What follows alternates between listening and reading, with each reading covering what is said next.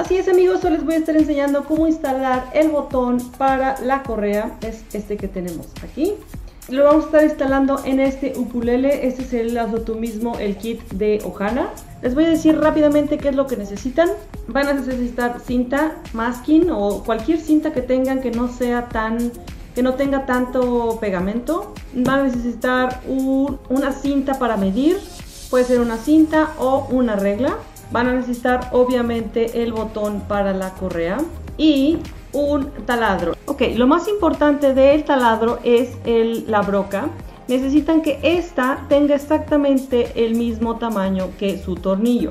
Como pueden ver, no sé si pueden ver, pero este es el mismo tamaño que tiene el tornillo. ¿Por qué? Es muy importante que tenga el tamaño, no puede ser más grande, ya que si es más grande, el tornillo va a quedar bailando y no van a poder instalar bien su botón. El botón va a quedar volando, no es lo que queremos. Queremos que quede exactamente del tamaño. Entonces, antes de perforar su ukulele, asegúrense de que tengan eh, la broca o el, no sé cómo le llamen ustedes a esta parte. Asegúrense de tener el tamaño adecuado. Obviamente necesitan el botón eh, para la correa, que es este que tenemos aquí. Viene con, su, con un pedacito de fieltro, el botón en sí y un tornillo. Puede que el suyo sea un poquito diferente, pero básicamente funcionan todos de la misma manera. Ok, lo que sigue ahora es medir el tamaño. Este ukulele obviamente no tiene el puente, todavía no se lo instalo, pero bueno, aquí va el puente. Tienen que medir debajo del puente cuánto mide el ancho de su ukulele. Para eso, obviamente, usan simplemente una regla, toman el tamaño. Este mide aproximadamente 16 centímetros. Obviamente vamos a tomar la mitad. Entonces sería la mitad, serían obviamente 8 centímetros. Lo que van a hacer es tomar el pedazo de cinta. Yo lo que hago es quitarle un poco el pegamento y van a medir los 8 centímetros y van a poner su pedazo de cinta y que dé vuelta en la parte de la parte de atrás, de abajo de su ukulele. Aquí tienen, esta es exactamente la mitad y después lo que sigue es medir la distancia de la base del ukulele.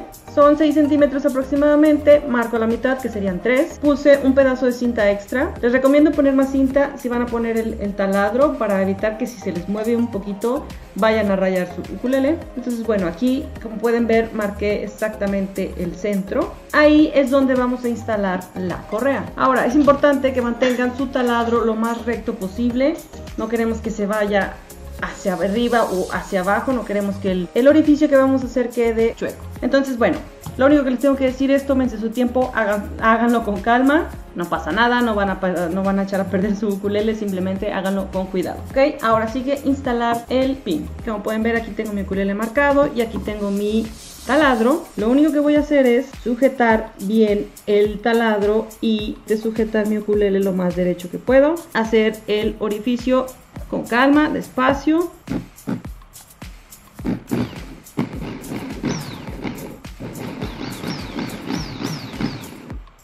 Y listo. No sé si alcanzan a ver, ya quedó nuestro pequeño orificio para instalar el tornillo. Ok, vamos a quitar la cinta. Ok, ahora lo que queda simplemente es, aquí está nuestro pequeño orificio, Ahora simplemente queda poner el, tornillo, esta parte, primero va así y al final va el pedacito de fieltro. Esto es para proteger el ukulele. Ok, ahora a instalar el botón. Listo. Ya tenemos nuestro botón de el ukulele. Así es amigos, entonces así de fácil es instalar el botón para su correa. Como pueden ver ya simplemente instalan su correa y amarran la siguiente parte al clavijero y listo. Ya tienen su correa lista para usarse.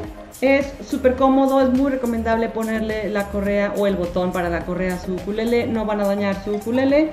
Es sumamente sencillo de instalar. Solo requieren obviamente el botón, eh, la broca adecuada y listo. Yo soy Carmen, que la buena música los acompañe.